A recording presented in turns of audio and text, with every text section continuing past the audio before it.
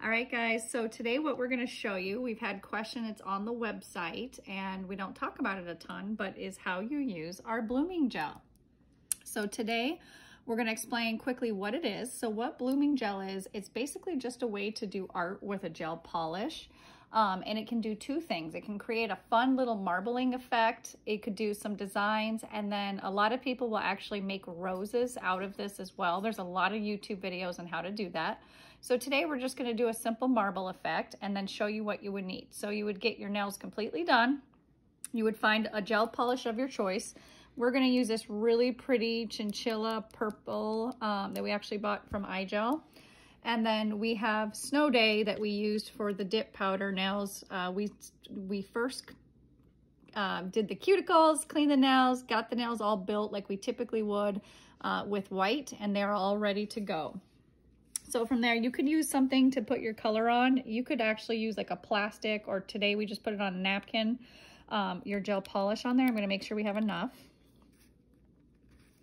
All right, then you're gonna need some sort of brush or a dotting tool could work. It doesn't necessarily have to be this. It could be a dotting tool as well. Um, and then you're gonna grab your blooming gel. Look at how pretty those are. All right, so we'll show you what you do. You grab your blooming gel and you're literally just make sure you wipe it off especially if you just buy it. It's going to be drowned everywhere.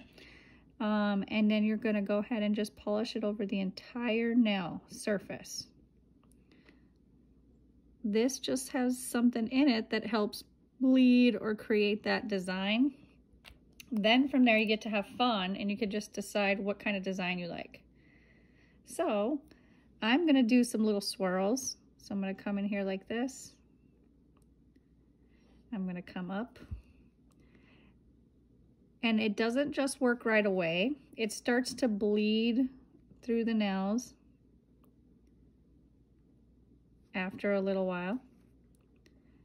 So we're going to go ahead and just leave it like that. And then we're going to continue to work on the next one. And that'll start to just spread throughout the nails. So we'll do at least two more with you. So remember, make sure you wipe off that brush really good. You can also do multiple colors. We, um, Elsa Wood, she wanted a really soft, you can see this one right here. She just wanted a real soft design. Um, and so even though it looks like this, it'll continue to spread. Um, so she did not, but you can add glitter on there once you're done and you can do multiple colors if you wanted. But she, like I said, she just wanted a nice little soft so I'm going to try to make this one spread just so it's not too much color. into a little swirl. Try to give it some different designs. All right, we're going to leave that one. One more.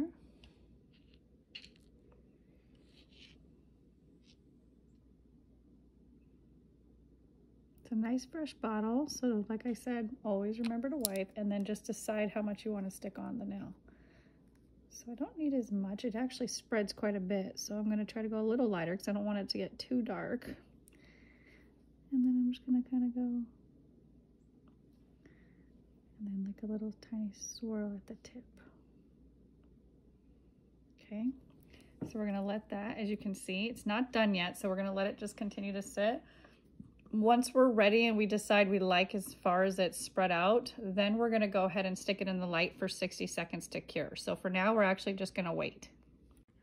All right, so we just let we just waited here. I would say we probably waited for about three minutes. And then what we did on the side is you I could see it was uh, piling up some color. So I just gently got the brush and it just helped open it up so it spread more. Now, as you can see, it has this cute marble effect. So we're gonna put it in the light for 60 seconds.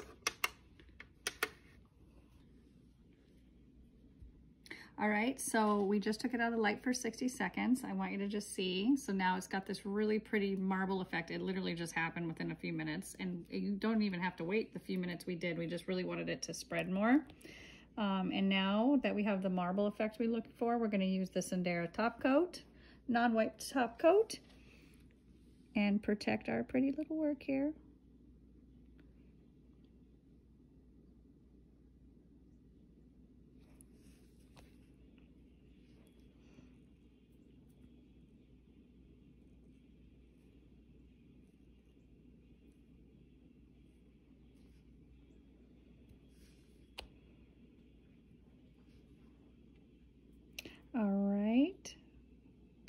So once we're done with the top coat here, we'll go ahead and stick this in the light for 60 seconds and then we'll come back and show you the final result. All right, the final product is all done. All right, again, so that was pretty easy. So we use the blooming gel. This is what you do to apply. You use your gel color of choice. And then as you can see, it creates a really, really pretty marble effect. All right, guys, thank you for watching again.